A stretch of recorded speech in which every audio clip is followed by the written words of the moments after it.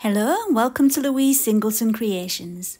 Today I'm going to be trying out a two component acrylic polymer by Resin Pro. It's called Nature Resin and when it arrived I could not wait to try it out and see if it measured up to Jesmonite AC100. And so today you're going to be seeing me use nature resin with my brand new lidded pot mould to create three bright and colourful candle vessels. And we'll see if nature resin gets the thumbs up from me.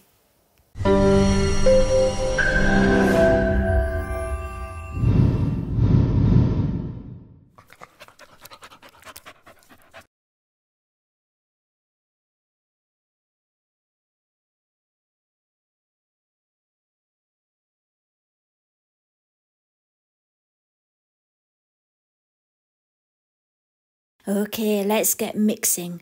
Now, before we begin, let me just say I'm going to call this nature resin. I don't know how you're supposed to say it, so I've decided on nature resin. It may be wrong, but who knows? It doesn't matter, does it? What I've got here is my digital scales and a large um, mixing vessel, which is silicone, so it's nice and easy to clean.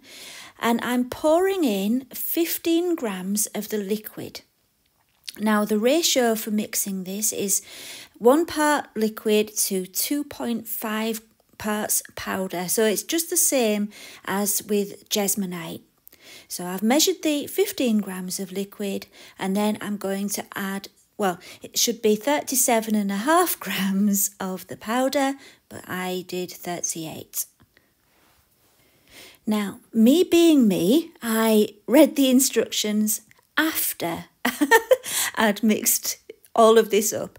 And apparently, you're supposed to um, weigh out your powder before you add it to the liquid and add it a little bit at a time, mixing constantly. So I've kind of done it wrong, but it worked well for me doing it this way anyway. So I used a spoon, adding just a little bit at a time. That way I could be nice and precise. And the um, good thing about that mixing jug is that the shape of it, when I'm mixing, I can kind of squash the um, powder against the side of the vessel and uh, you know, any lumps that are in there can be kind of smoothed really easily against the side with the stirring stick. And it worked really well for me because the problem you can get is it can be lumpy and you can use like whisks and all sorts of different fancy mixing tools for it. But I've only got a small amount here and I didn't have a small enough um, kind of whisk thing to stir it with. So I was just using my st silicone st um, stirring stick.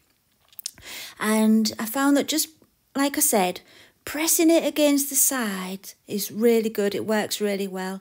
And there's not so much of a rush when you're mixing this as there is with jesmonite it's got a working time of 12 to 15 minutes so you can really give it a good stir and not worry too much about it starting to set up before you're ready I had already done a couple of practices with this before making the video. So when you saw that tub of powder was only partly full, don't worry, if you purchase any of this, that tub will be full. So nature resin is non-toxic, eco-friendly and vegan-friendly, VOC-free, and it's a mineral-based product, and so you can mix it without using gloves. I've got my gloves on because of the pigments that I'm going to be using, and I didn't want to get it on my skin because it can be hard to wash off.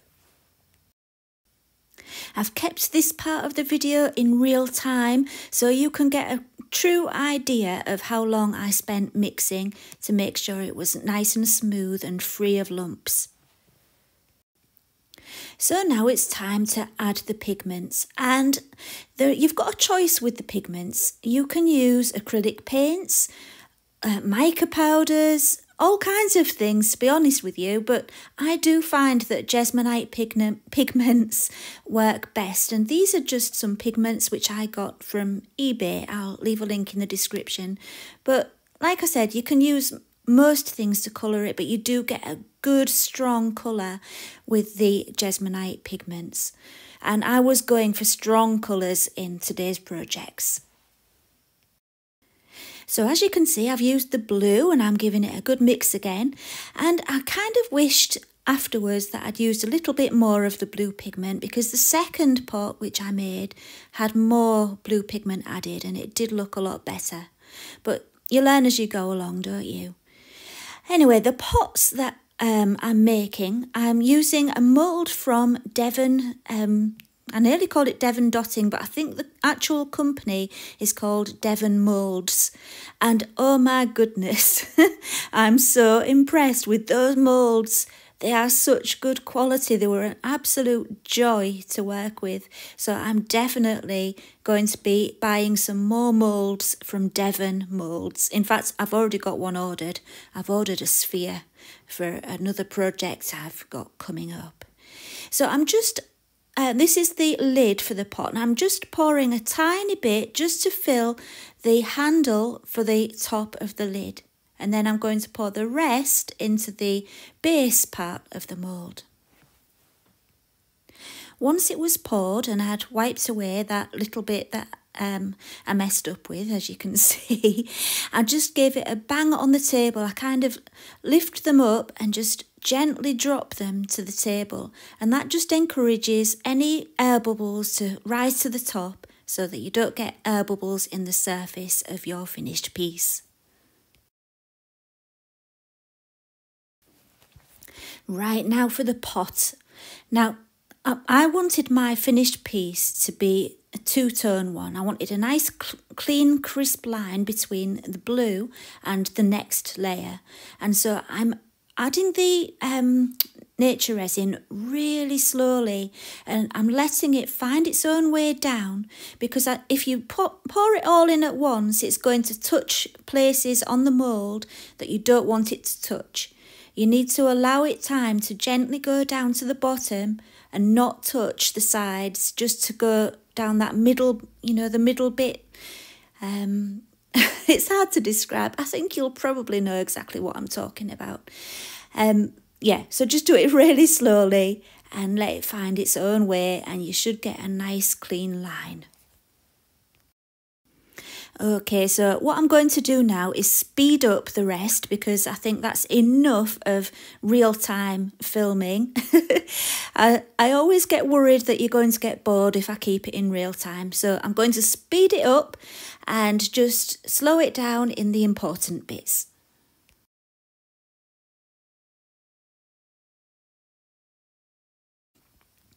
So for the white layer, it was exactly the same process again, except this time I used 20 grams of liquid and 50 grams of powder. And I used some white pigment just to brighten up the white of the nature resin. You could use it without the white, it just makes it a bit more of a crisper white if you add some white pigment. And with both of the pigments, I added about three drops. Once the white was mixed, I just poured it in just in the same way as before and gave it a gentle bang against the table and then left it for 40 minutes before demoulding. One of the reasons why I loved this mould so much was because you don't have to turn the whole thing inside out to get the pot out like you do with some of the cheaper moulds. These handmade moulds are just so amazing and I think this is probably the first time I've purchased the handmade ones and honestly it's worth paying that little bit extra because honestly the quality is just it makes such a difference. It makes it a pleasure to work with moulds because you know that nothing's going to get stuck and it's all going to come out really easily. And also, that lid fits perfectly into the pot. So they're just so well made, everything fits together nicely and nothing's distorted. It's just perfect. And so there's my first pot. It's not my favourite of the three. Like I said earlier, I wished I'd added more blue pigment, but it turned out quite nice. And what I'm going to do is show you all three pots, the demoulding part of all the three pots, all in one go. And then rather than showing you the process of me making them all, because it's self explanatory really, after you've seen one, you don't need to see me do them all. The only difference with the second pot is that it's got three colours. And although it was more work to do three colours, I'm really happy with this one. This one is my favourite. i am kind of going for the nautical theme with these. That's why I chose the red, white and blue stripes. I thought they would work really well together and make a nice nautical kind of theme. And yeah, the, the three pots did end up going together really nicely. And for the third one, I just stayed with red and white so that I had a blue and white, a red and white, and a red, white, and blue one. And yeah, they all went together really well. And the good thing is, in a minute, you'll see me sealing them. And the colours are going to really be transformed when they're sealed. So do hang on and see what they look like when they've been sealed. So these pots are going to be used inside and they don't actually need to be sealed. But I wanted them to have a slight shine and like I said, I wanted the colours to pop and I knew by adding some wax the colours would really come to life and so I'm using the Clark's cutting board wax. Um, as the name suggests, it's designed for wood, for cutting boards, but it actually works really well on this and so I was happy with it. It just gives it a, a slight shine and it makes it feel smoother and I don't know, it just, as you can see already, before your eyes, I'm sure you can see that the colours are already becoming more vibrant.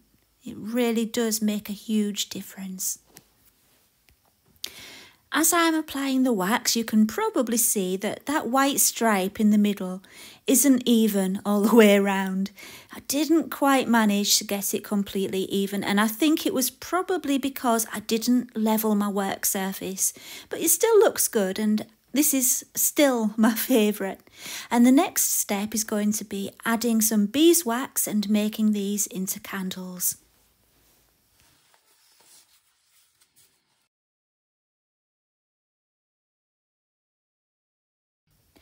Right, because I'm going to be using my pots as candle vessels, I wanted to use my first attempt, which had gone a bit wrong, as a tester to leave the candle burning for a long time to see if anything would happen to the pot. So I've poured in the beeswax and I, I just let it set and then I lit it and did the test. I've put it into that metal tray because I'm not going to be with it all the time to watch over it, just in case anything terrible happened. I like to be safe. And yeah, I left it for about four or five hours, I think, to burn right down.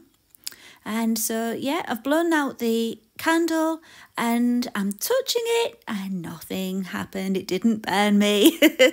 it wasn't really hot. It was warm. The pot did feel warm but it was fine. There's no scorching from the candle on the sides. Um, there is a scorch mark, but that's from the flame I used to light it. So next time I would be more careful about what I used to light it with. But the actual candle did not damage the vessel at all. So this is a test that I did just for my own peace of mind. I'm not telling you that this is safe to use with candles. You need to make your own decision and if you're still not sure, contact the manufacturer. I don't want to be responsible for anything going wrong.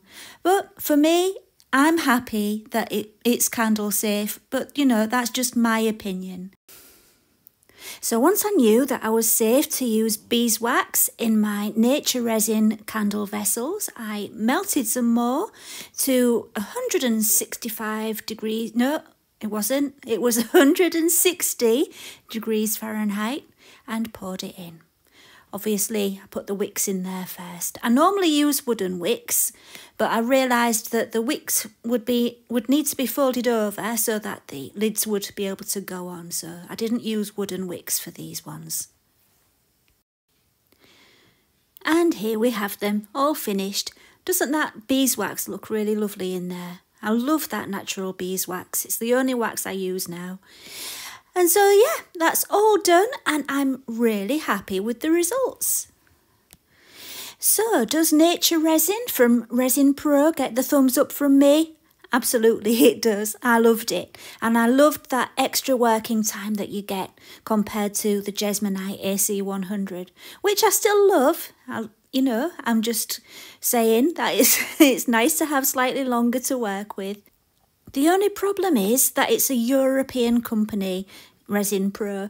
Um, yeah, they ship all over Europe, but not to the rest of the world. And I know a lot of my viewers, you're in, um, in the USA, Australia, all over the place, and you can't get your hands on it. And that's really annoying. But what one thing I would definitely recommend to you is Stonecast um, plaster by Moldmaster, and that is really excellent. And you could get you would get similar results, but the um, it doesn't take colour quite as well. The colours will be paler if you use that. And if you can't even get that where you live, do a search for extra strong plaster and in most countries, you'll be able to find a variation of plaster of Paris which is much stronger and more like stone. So, yeah, you don't have to have this acrylic compound that I've been using to do the same kind of thing. So we've come to the end of the video and I hope it's been useful to you in some kind of way. Thank you for watching and don't forget if you haven't already subscribed please do and leave a comment and I will see you again next time. Bye for now.